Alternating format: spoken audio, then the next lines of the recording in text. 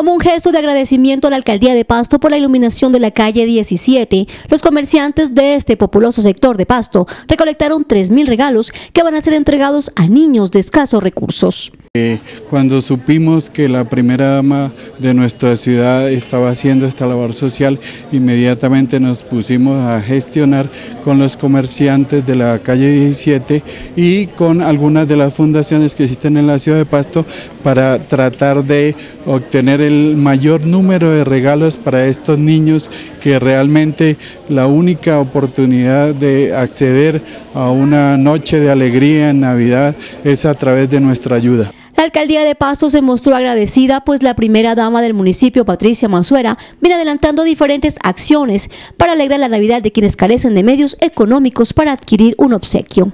Realmente muy agradecida. Eh, los comerciantes eh, de este sector comercial tan importante en nuestra ciudad han sido muy generosos. Nos han dado 3.000 regalos que permitirán una gran sonrisa de nuestros niños más necesitados en la época navideña. Nosotros estamos adelantando también una campaña de solidaridad, además de este sector con toda la ciudad y estamos recepcionando los regalitos que la ciudad nos pueda donar en la Secretaría de Bienestar Social. Los comerciantes de la calle 17 confían en que estos obsequios serán entregados a quienes más lo necesitan y señalaron que seguirán interactuando con las autoridades para que esta zona continúe destacándose en la ciudad.